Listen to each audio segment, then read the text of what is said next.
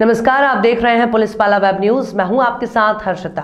जबलपुर की कालीमठ इलाके के क्षेत्रीय नागरिकों ने पुलवामा आतंकी हमले में शहीद भारतीय सेना के जवानों को श्रद्धांजलि दी। इस मौके पर बड़ी संख्या में क्षेत्रीय नागरिक मौजूद रहे। वहीं क्षेत्रीय नागरिकों का कहना है कि जिस प्रकार से पाकिस्तान द्वारा पुलवामा में आतंकी हमला करके भारत के जवानों को शहीद किया गया था, जिसके कारण पूरे देश में पाकिस्तान सरकार के खिलाफ रोष देखा गया। पुलवामा में शहीद हुए भारतीय सेना के जवानों को विनम्र श्रद्धांजलि चौदह जनवरी को अर्पित की गई, जहाँ युवा वर्ग वैलेंटाइन डे मनाता है। वहीं कालीमठ के क्षेत्रीय नागरिकों, अमर शहीद जवानों को याद करते हुए उन्हें पुष्पहार अर्पित करते हुए उन्हें याद किया गया और पाकिस्तान द्वारा की जा रही आतंकी घटनाओं का क्षेत्रीय नागरिकों ने पुरजोर विरोध किया है। अरे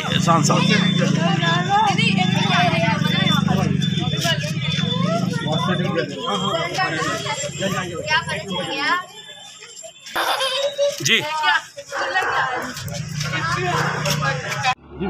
तीन साल पहले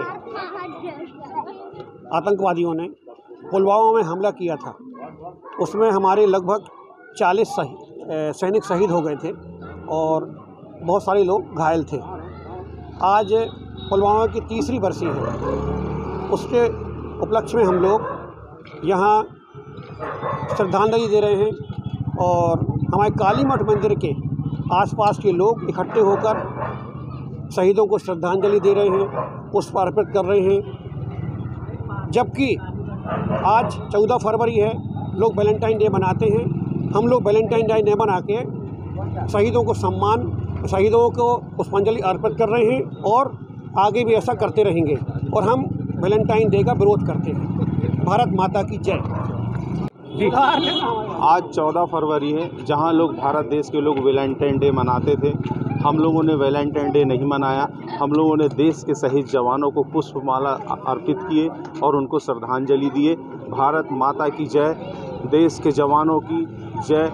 जय हिंद, जय भारत। किस तरह आप लोगों ने यहाँ पे कार्यक्रम आयोजित किया गया है? ये कार्यक्रम हमारे क्षेत्र के सभी सम्मानीय लोगों ने, जो क्षेत्र के बुज़ुर्ग हैं, युवा वर्ग हैं, उन लोगों के मन में एक श्रद्धा, सुमन, भक्ति, देश के प्रति भाव जागा है।